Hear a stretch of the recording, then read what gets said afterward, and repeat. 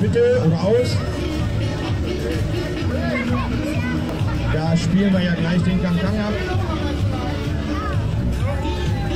Aber ich glaube, das sieht jetzt ein bisschen platzschlecht aus, ja?